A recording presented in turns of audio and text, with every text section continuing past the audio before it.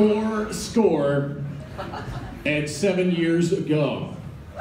Our fathers brought forth on this continent a new nation, conceived in liberty and dedicated to the proposition that all men are created equal. Now we are engaged in a great civil war, testing whether that nation or any nation so conceived and so dedicated can long endure. Men are a great battlefield that war, blah, blah, blah, blah, blah. I didn't write that. That's some original beat poetry by Abraham Lincoln. That was November 20, no, no, November 19th, 1863. I memorized that when I was nine. I memorized a lot of other stuff when I was nine as well, because my third grade teacher, Mrs. Kiner, perpetuated the myth that we use 10% of our brain. And spoiler alert, that is a myth. Advanced brain imaging technology tells us that most of our brain is engaged most of the time. Even when you're doing something mundane like petting a cat, choosing ranch dressing, you know that? When I asked Miss Kiner what would happen if we could use 100% of our brain, she didn't know. She's like, uh, superpowers? So I became obsessed with unlocking 100% of my brain because I wanted to be a dark wizard. I wanted to be able to summon demons to vanquish my enemies. I wanted to bring about the end times. I wanted to be able to see boobies whenever I wanted. Typical nine-year-old bullshit, right? So I became a voracious reader. I was at the library a lot, much to the chagrin of the librarians. Because I was this roly-poly, rosy-cheeked little fat kid with a big blonde fro and this stupid high voice. And I checked out the weirdest fucking books.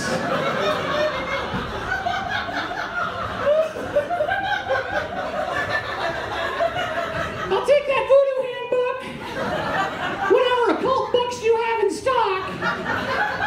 And I want the complete prophecies of Nostradamus in English this time.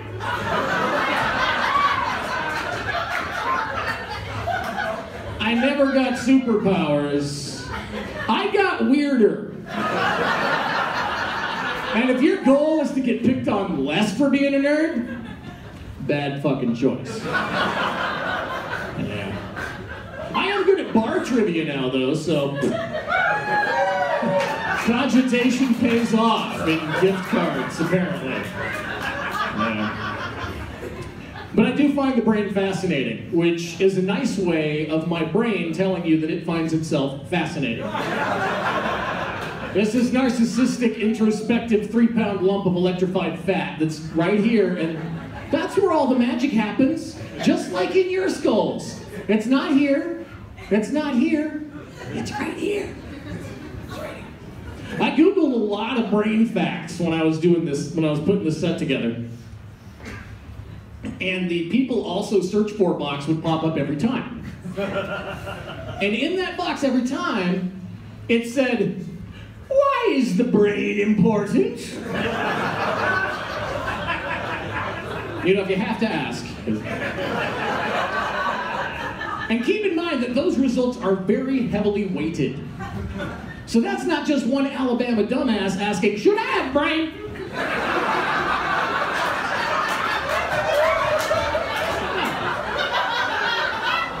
That is thousands upon thousands of brains all across the globe having existential crises. I mean, I don't know if it's even worth it anymore. We're just sitting around and watch Fox News and troll people on Twitter all day. I mean, Jesus, just put me out of my misery. Just take me out and fill your skull with jelly beans. I don't even care anymore. I do love them colorful beans! Maybe we should have the magic Google box. What it thinks first. So I went down that rabbit hole. I clicked on that link. It brought me to a website of a New Jersey clinic called Princeton Brain and Spine. And this page leads off with the brain is arguably the most important organ in the body. Arguably. That tells me this is a place that does brain surgery, by the way. The brain of a brain surgeon came up with that line. Which tells me two things. The brain is the most important body part. Yes, more important than boobies. It's also clearly the most humble. You know the heart wouldn't be so humble. No, man, I run this shit. Look at me pumping. Look how pumped I am. Pumping blood all day. Look, pump, pump. If you didn't have me doing what I do, you'd be dead. You know? Without me, you'd be fucking dead. The brain would agree. Absolutely. What you do is smashing. I love it. It's brilliant. I love that you keep me bathed in blood. Beautiful. As you mentioned, though, it would be disheartening to lose you.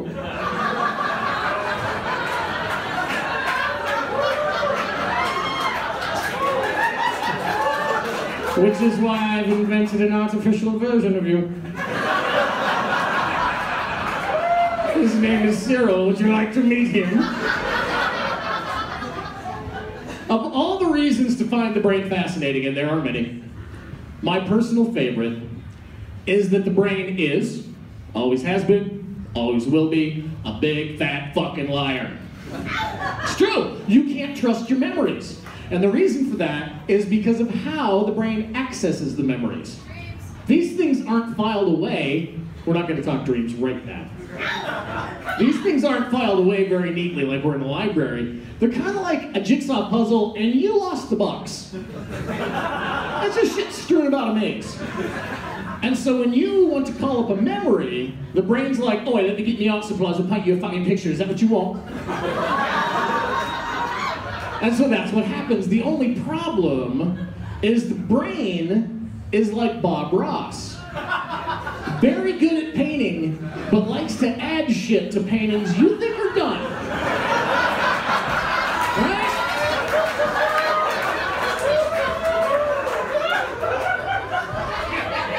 Here's your here's your grandparents' house. You remember that? Remember the roof and the drainage ditch? And here's a happy tree that lives right here.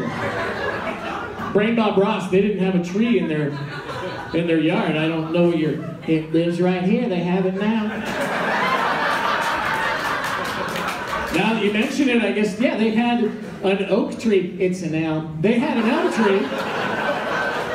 I probably climbed it. We're going to take our fan brush and our Prussian blue, and we're going to add a little childhood trauma in the corner.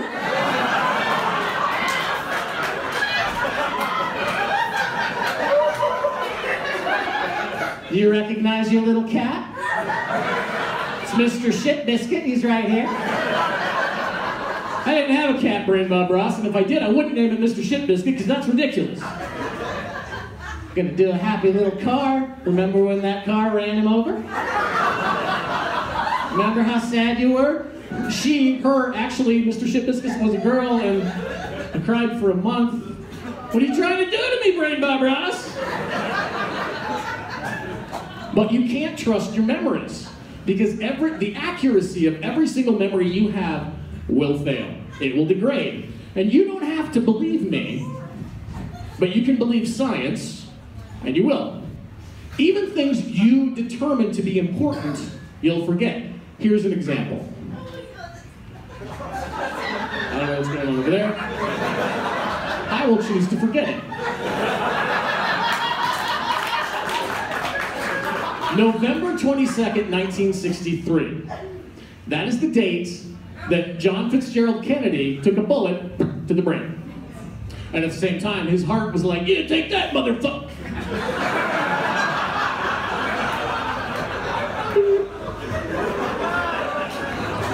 If you lived through that event, you likely have very vivid memories of where you were, what you were doing when you got the news. Those types of memories are called flashbulb memories. And they were, that was a term that was coined by two Harvard researchers in 1977, Roger Brown and James Kulik.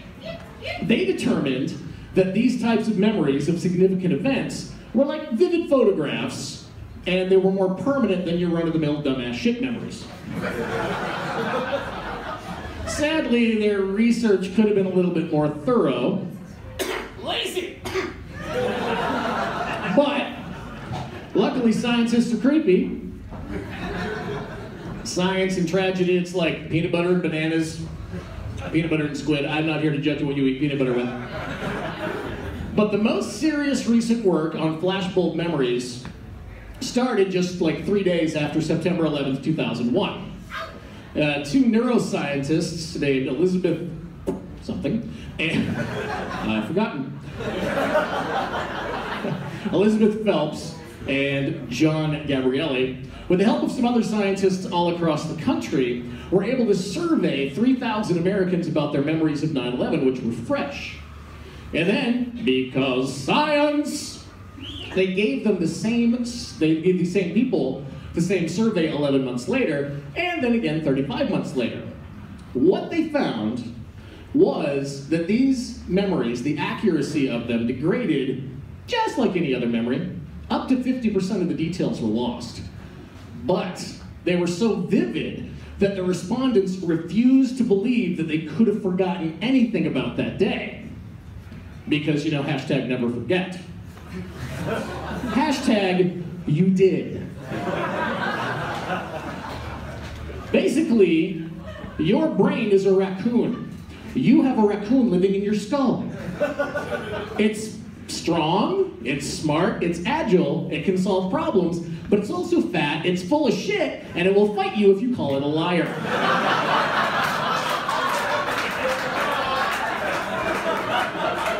Gonna leave you with a flashbulb memory of my own, one which the raccoon in my skull says is 100% true. I know where I was and what I was doing. January 28th, 1986. I was in sixth grade at Whitefield Elementary. Now, because Christa McAuliffe was about to become the first teacher in space, we were watching the shuttle launch live via satellite. About 70 seconds into launch, Roger go with throttle up. Shuttle is engulfed in flames, Challenger breaks apart, all seven astronauts die. That caught everybody in the room a little bit by surprise. So the teacher panicked and turned off the TV.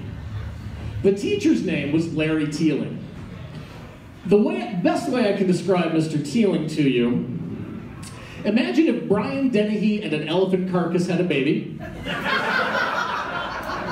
That baby was roughly 65 years old, and it hated children. So this picture of warmth empathy and compassion decided that we needed to talk about what we just saw. Children, we have all witnessed a traumatic event. It won't do to bottle up your emotions. You need to talk about it, and I am here to help. Please tell me how you feel. Newsflash, nobody was ready to talk. Especially not to Mr. Teeling. He had already made three kids break down crying in class during that school year. One of those kids may or may not have been me. And that was just over dumb math problems. This was some serious shit. So we were all very silent and very still. Well, not all of us. One hand, one grubby little hand, slowly went up in the back of the class. You would have to know Jack Ashby to know that some shit was about to go down. Apparently, Mr. Teeling was the only one who didn't know. He calls on Jack. Eyes widen. Butts pucker. Jack speaks with great emotion and sincerity, I might add. Mr. Teeling, why couldn't you have been the first teacher in space?